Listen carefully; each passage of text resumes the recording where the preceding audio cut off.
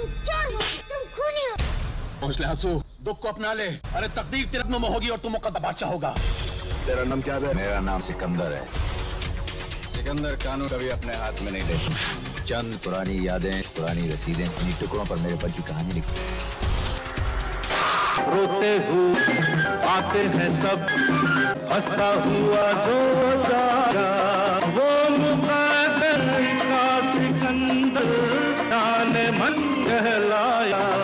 दोस्तों, इस वीडियो में हम बात करेंगे सत्तर के दशक में आई अमिताभ बच्चन की एक ब्लॉकबस्टर फ़िल्म मुकद्दर का सिकंदर से जुड़े बहुत सारे अननोन फैक्ट्स और इसके बॉक्स ऑफ़िस परफॉर्मेंस के बारे में। तो चैनल को सब्सक्राइब कीजिए और वीडियो पूरा देखते रहिए।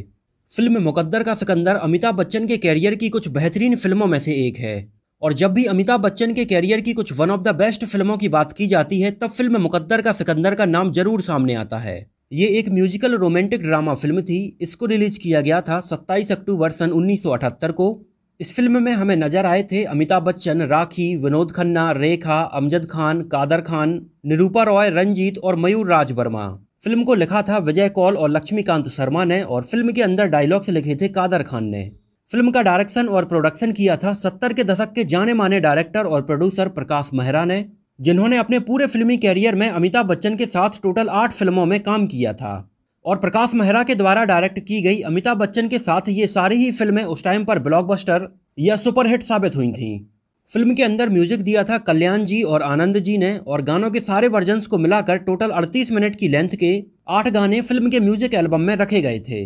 फ़िल्म का म्यूज़िक एल्बम बहुत ही अच्छा था। फ़िल्म के सारे ही गाने लोगों के द्वारा बहुत ज़्यादा पसंद किए गए थे। और आज फ़िल्म के इतने साल बीत जाने के बाद भी बहुत सारे लोग फ़िल्म के इन गानों को सुनना आज भी पसंद करते हैं। फ़िल्म के पॉपुलर गाने थे, ओ साथी रे, तेरे बिना भी क्या जीना? शलामे इश्क मेरी जान। दिल तो है दिल, प्यार ज़िंदगी है। वफा जो ना की तो। और इसका टाइटल सॉन्ग मुकद्दर का सिकंदर। फ़िल्म के बहुत सारे गाने उस साल के टॉप टेन सॉन्ग्स की लिस्ट में भी शामिल थे। इन सभी गानों के लिरिक्स लिखे थे अनजान ने और फ़िल्म के केवल एक गाने सलाम इश्क के लिरिक्स लिखे थे खुद प्रकाश मेहरा ने। और फ़िल्म के इन सभी सुपरहिट गानों के अंदर अपनी आवाज़ दी थी किशोर कुमार, मोहम्मद रफ़ी, लता मंगेशकर, आशा भोंसले, महेंद्र कपूर और हेमलता ने। अब बात करते हैं फ़िल्म के बजट और बॉक्स ऑफ़िस कलेक्शन के बारे में। तो फ़िल्म का बजट रखा गया था लगभग एक करोड़ चालीस लाख रुपए। और फ़िल्म ने इंडिया में कलेक्शन किया था लगभग आठ करोड़ पचास लाख रुपए और वर्ल्ड वाइड में इसने कलेक्शन किया था लगभग छब्बीस करोड़ रुपए। और ये एक ब्लॉकबस्टर फ़िल्म साबित हुई थी। फ़िल्म मुकद्दर का सिकंदर को देखने उस टाइम पर लगभग छह करोड़ सत्तर लाख लोग सिनेमा घरों में आए थे। और इंडिया के अलावा भी फ़िल्म को रूस जैसे देशों में काफ़ी पसंद किया गया था। और उस टाइम पर रूस में भी इस फ़िल्म की लगभग ढाई करोड़ से ज़्यादा टिकट से सेल की गई थी। और फ़िल्म मुकद्दर का सिकंदर ने सन 1978 में इंडिया में और वर्ल्ड वाइड में काफ़ी अच्छा कलेक्शन किया था।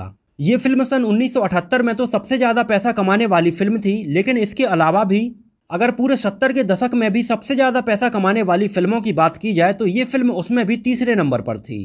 पूरे सत्तर के दशक में सबसे ज़्यादा पैसा कमाने वाली फ़िल्म थी सोले दूसरे नंबर पर फ़िल्म थी बॉबी, और तीसरे नंबर पर फ़िल्म थी मुकद्दर का सिकंदर। और अगर केवल 1978 के बॉक्स ऑफ़िस कलेक्शन की बात की जाए तो अमिताभ बच्चन की तीन फ़िल्में उस टाइम पर टॉप थ्री की लिस्ट में शामिल थीं। जिनमें से पहले नंबर पर फ़िल्म थी मुकद्दर का सिकंदर, दूसरे नंबर पर थी त्रिशूल, तीसरे नंबर पर थी डॉन, चौथे नंबर पर थी आज़ाद और पाँचवें नंबर पर थी मैं तुलसी तेरे आँगन की। और लगभग तीन घंटे की इस फ़िल्म को 7.5 आउट ऑफ़ 10 आई रेटिंग मिली हुई है। तो अब बात करते हैं फ़िल्म से जुड़े बहुत सारे अननोन फैक्ट्स के बारे में। अगर हम एकदम स्टार्टिंग से बात करें तो प्रकाश मेहरा फ़िल्म मुकद्दर का सिकंदर बनाने के पहले अमिताभ बच्चन के साथ, सन 1973 में फ़िल्म जंजीर, सन 1976 में फ़िल्म हेरा फेरी और सन 1977 में फ़िल्म खून पसीना जैसी फ़िल्मों के अंदर एक साथ काम कर चुके थे।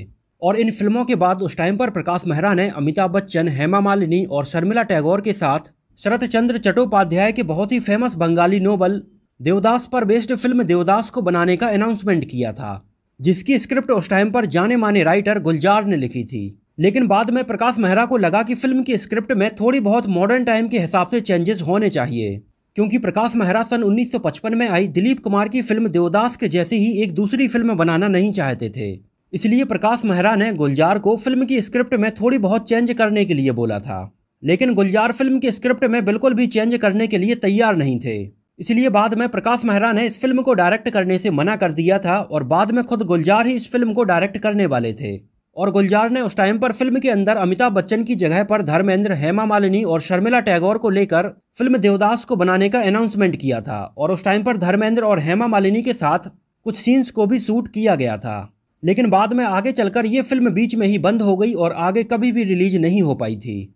और दूसरी तरफ़ प्रकाश मेहरा ने फ़िल्म देवदास की ही स्क्रिप्ट से कुछ कुछ इंस्पायर्ड एक दूसरी स्क्रिप्ट, मुकद्दर का सिकंदर के ऊपर अमिताभ बच्चन के साथ काम करना शुरू कर दिया था, जिसके अंदर भी फ़िल्म देवदास के जैसा ही रोमांटिक ड्रामा रखा गया था, लेकिन ये फ़िल्म देवदास से काफ़ी अलग थी। फ़िल्म की बेसिक स्टोरी लाइन में था, जहाँ पर अमजद खान रेखा को पसंद करते हैं, रेखा अमिताभ बच्चन को पसंद करती हैं, अमिताभ बच्चन राखी को पसंद करते हैं और राखी विनोद खन्ना को पसंद करती हैं। लेकिन फ़िल्म के अंदर अमिताभ बच्चन और रेखा के बीच के कुछ सीन देवदास और चंद्रमुखी के सीन के जैसे ही मिलते जुलते रखे गए थे।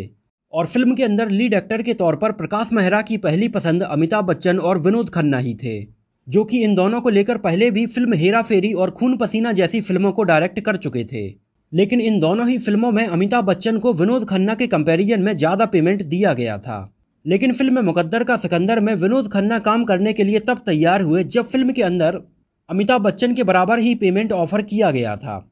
और ये फ़िल्म विनोद खन्ना, प्रकाश मेहरा और अमिताभ बच्चन की साथ में आई आखिरी फ़िल्म साबित हुई थी। हालाँकि फ़िल्म मुकद्दर का सिकंदर के बाद आगे भी प्रकाश मेहरा ने अमिताभ बच्चन को लेकर एक के बाद एक बहुत सारी सुपरहिट फ़िल्में बनाई थीं। लेकिन आगे विनोद खन्ना का कैरियर जिस टाइम पर एकदम पीक पर था, तब उसी टाइम पर विनोद खन्ना बॉलीवुड से लगभग पाँच साल का एक लंबा ब्रेक लेकर अपने गुरु ओशो के आश्रम चले गए थे, जिस वजह से उनके हाथ से बहुत सारी सुपरहिट फ़िल्में निकल गई थीं। और इस दौरान अमिताभ बच्चन ने बहुत सारी सुपरहिट फ़िल्मों के अंदर काम कर लिया था। नहीं तो उस टाइम पर यह माना जा रहा था कि अगर विनोद खन्ना ओसो के आश्रम नहीं जाते तो वो आगे चलकर अमिताभ बच्चन की फ़िल्मों को भी टक्कर दे सकते थे। और फ़िल्म मुकद्दर का सिकंदर में लीड एक्ट्रेस के तौर पर सबसे पहले रेखा को अप्रोच किया गया था। लेकिन जिस टाइम पर फ़िल्म मुकद्दर का सिकंदर की शूटिंग स्टार्ट होने वाली थी, उस टाइम पर रेखा फॉरेन में थी। इस वजह से फ़िल्म मुकद्दर का सिकंदर की शूटिंग उस टाइम पर थोड़ी डिले होती जा रही थी। और फ़िल्म को ऐसे रेखा की वजह से डिले होता हुआ देखकर प्रकाश मेहरा ने बाद में डिसाइड किया कि वो फ़िल्म के अंदर रेखा की जगह पर रीना रॉय को कास्ट करेंगे। और जैसे ही ये बात रेखा को पता चली कि फ़िल्म के अंदर उन्हें रीना रॉय से रिप्लेस किया जा रहा है तो रेखा तुरंत इंडिया वापस आ गई और उन्होंने फ़िल्म की शूटिंग करना स्टार्ट कर दिया। लेकिन रीना रॉय से भी प्रकाश मेहरा उस टाइम पर बात कर चुके थे। इस वजह से बाद में प्रकाश मेहरा ने रीना रॉय को अपनी अगली फ़िल्म ज्वालामुखी के अंदर शत्रुघ्न सिन्हा के अपोजिट कास्ट किया था, जिसमें उस टाइम पर पहले परवीन बॉबी काम करने वाली थी। इसके अलावा हमें फ़िल्म के अंदर अमिताभ बच्चन के साथ में राम सेठी, कॉमेडियन प्यारे लाल के रोल में नज़र आए थे, जो किरदार आज इतने सालों बाद तक भी लोगों को याद है। एक्चुअली इस रोल के लिए पहले असरानी को अप्रोच किया गया था, लेकिन जिस दिन असरानी के साथ इस सीन को शूट किया जाना था, उस दिन असरानी को किसी दूसरे फ़िल्म के सेट पर काफ़ी टाइम लग गया और काफ़ी बारिश के चलते वो फ़िल्म मुकद्दर का सिकंदर के सेट पर नहीं आ सके। इसलिए एकदम लास्ट टाइम पर प्रकाश मेहरा ने अपने असिस्टेंट डायरेक्टर राम सेठी को बोला कि तुम प्यारे लाल का किरदार प्ले करो। और राम सेठी ने जैसे ही प्यारे लाल के डायलॉग्स बोलना स्टार्ट किए तो ये प्रकाश मेहरा को काफ़ी पसंद आए। और आगे बाद में राम सेठी को ही प्यारे लाल के रोल में फाइनल कर दिया गया था। एक्चुअली राम सेठी एक ऑलराउंडर थे। उन्होंने पहले तो कुछ सालों तक बॉलीवुड के जाने माने डायरेक्टर रवि टंडन को उनकी फ़िल्मों में असिस्ट किया था। और उसके बाद लगभग 20 सालों तक वो लगातार प्रकाश मेहरा की फ़िल्मों में असिस्टेंट डायरेक्टर के तौर पर काम करते रहे थे। इस बीच राम सेठी ने कई फ़िल्मों के लिए screenplay writer dialogue writer और एक्टर के तौर पर काम किया था और फ़िल्म के अंदर अमजद खान हमें दिलावर के रोल में नज़र आए थे, जो कि अमजद खान के द्वारा निभाए गए उनके कैरियर के कुछ one of the best roles में से एक साबित हुआ था। और फ़िल्म की शूटिंग जब स्टार्ट हुई तो फ़िल्म के अंदर एक सीन था जहाँ पर अमिताभ बच्चन एक कांच का गिलास विनोद खन्ना की तरफ़ फेंकते हैं। और जब ये कांच का गिलास टूटता है तो इसके कांच के कुछ टुकड़े विनोद खन्ना की दाढ़ी में जाकर लगे, जिससे विनोद खन्ना को उस टाइम पर काफ़ी चोट आ गई थी और फ़िल्म की शूटिंग को तत्काल वहीं पर रोक दिया गया था। और बाद में कुछ दिनों बाद जब विनोद खन्ना पूरी तरह से ठीक हुए, तब जाकर बाकी के सीन को शूट किया गया था। इसके अलावा फ़िल्म के एक बहुत ही पॉपुलर गाने, दिल तो है दिल के एक सीक्वेंस को अमिताभ बच्चन और राखी के ऊपर शिमला की बर्फ़ के बीच में शूट किया जाना था। लेकिन जब इस गाने को शिमला में शूट किया जा रहा था, तब उस टाइम पर राखी किसी कारण की वजह से शिमला नहीं पहुँच पाई थी। तो इस गाने को शिमला में उस टाइम पर अमिताभ बच्चन के साथ में राखी की एक बॉडी डबल के साथ शूट किया गया था। अगर आप इस गाने के सीन को गौर से देखेंगे तो हमें अमिताभ बच्चन के साथ में राखी का फेस कभी भी एक साथ दिखाया नहीं जाता है। दूर से ये हमें केवल एक दूसरे के साथ चलते हुए दिखाई देते हैं। और पास वाले एंगल को ऐसे शूट किया गया था, जिसमें हमें एक बार अमिताभ बच्चन दिखाई देते हैं। और एक बार राखी दिखाई देती हैं। दोनों का चेहरा हमें एक साथ इस सीन के दौरान कभी भी दिखाई नहीं देता है। एक्चुअली राखी ने इस गाने के दौरान अपने सीक्वेंस को मुंबई के ही एक स्टूडियो में शूट किया था। और बाद में अमिताभ बच्चन और राखी इन दोनों के सीन्स को मिक्स करके इस गाने के दौरान हमें दिखाया गया था। इसके अलावा फ़िल्म के एक दूसरे पॉपुलर गाने, ओ साथी रे, तेरे बना भी क्या जीना की शूटिंग जब मुंबई के एक स्टूडियो में की जा रही थी। और जैसे ही इस गाने की शूटिंग कंप्लीट हुई तो सारे कलाकार अपने मेकअप रूम में चले गए। लेकिन कुछ समय बाद वहाँ पर किसी चीज़ के बहुत ज़ोर से टूटने की आवाज़ आई। और सबने जैसे ही बाहर निकलकर देखा तो पाया कि जिस स्टेज पर यह गाना शूट किया गया था, वो स्टेज अचानक से टूट गया है और एक बड़ा हादसा वहाँ पर होते होते बच गया है। शुक्र की बात यह थी कि जिस टाइम पर यह स्टेज वहाँ पर टूटा, उस टाइम पर उस स्टेज पर कोई भी मौजूद नहीं था और इस एक्सीडेंट में किसी को कोई भी चोट नहीं आई थी। इसके अलावा इसी स्टेज पर फ़िल्म के गाने ओ साथी रे के पहले अमिताभ बच्चन का एक काफ़ी लंबा डायलॉग रखा गया था। एक्चुअली इस डायलॉग को कादर खान ने लिखा था और अपनी ज़िंदगी के पूरे दुख को और अपनी ज़िंदगी के कुछ खुद के विचारों को अमिताभ बच्चन के इस डायलॉग के लिए लिख दिया था। और कादर खान के द्वारा लिखा गया ये डायलॉग लगभग सोलह पेज का था। और जब कादर खान ने यह डायलॉग प्रकाश मेहरा को दिखाया तो प्रकाश मेहरा ने बोला कि यह डायलॉग काफ़ी लंबा है। और बाद में अमिताभ बच्चन ने भी इस डायलॉग के 16 पेज लिखे हुए देखकर इस डायलॉग को फ़िल्म के अंदर बोलने से मना कर दिया था। अमिताभ बच्चन का कहना था कि ये डायलॉग काफ़ी लंबा हो जाएगा और कुछ शब्द वो डायलॉग बोलते टाइम पर शायद भूल भी जाएँगे। लेकिन बाद में कादर खान अमिताभ बच्चन से मिले और उन्हें ये पूरा डायलॉग पूरे इमोशंस के साथ बोलकर बताया। और इस इमोशनल डायलॉग को बोलते टाइम पर कादर खान की आँखों में सच में आँसू आ गए थे। और ये देखकर अमिताभ बच्चन को समझ में आया कि इस डायलॉग में कितना दर्द है। और बाद में अमिताभ बच्चन ये पूरा सोलह पेज का डायलॉग बोलने के लिए तैयार हो गए थे। और फ़िल्म के अंदर सिकंदर के बचपन का रोल मयूर राज वर्मा ने निभाया था। और मयूर राज वर्मा की माँ ने उन्हें फ़िल्म के अंदर ये रोल दिलवाने में काफ़ी मशक्क़त की थी। उस टाइम पर उनकी माँ बहुत सारे जाने माने प्रोड्यूसर से खुद को पत्रकार बताकर मिलती थीं। और बाद में उनके इंटरव्यू लेने के बहाने उनसे मिलकर अपने बेटे मयूर राज वर्मा के कुछ फोटोग्राफ्स दिखाकर उन्हें फ़िल्म के अंदर काम देने के लिए रिक्वेस्ट करती थीं। और ऐसे ही वो एक बार प्रकाश मेहरा से मिली थी। और प्रकाश मेहरा ने फ़िल्म मुकद्दर का सिकंदर के अंदर उनके बेटे मयूर राज वर्मा को सिकंदर के बचपन का रोल दे दिया था।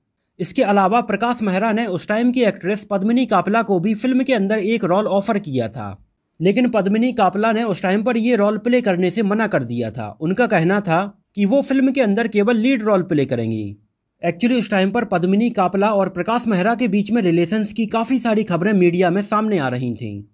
और आगे चलकर तो पद्मिनी कापला ने अपने एक इंटरव्यू के दौरान ये तक बोल दिया था कि उन्होंने और प्रकाश मेहरा ने सन उन्नीस सौ सतासी में चोरी छुपे शादी भी कर ली थी।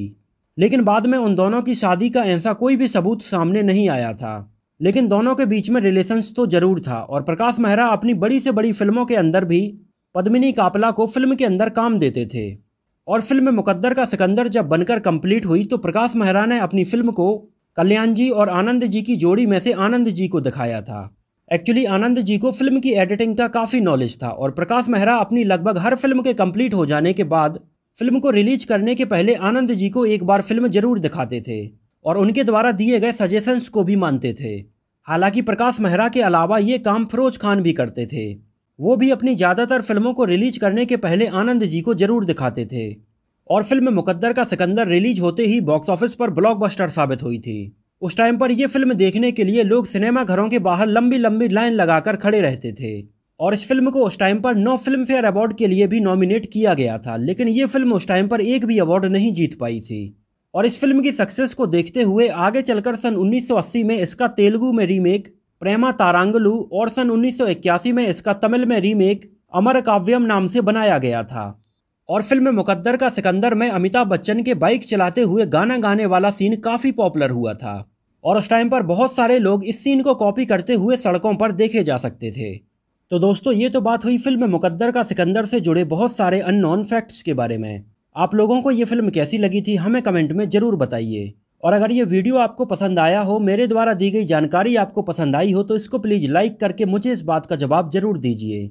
तो मिलते हैं किसी नए वीडियो में, किसी नई मूवी से जुड़े बहुत सारे अननोन फैक्ट्स और ऐसी ही रोचक बातों के साथ।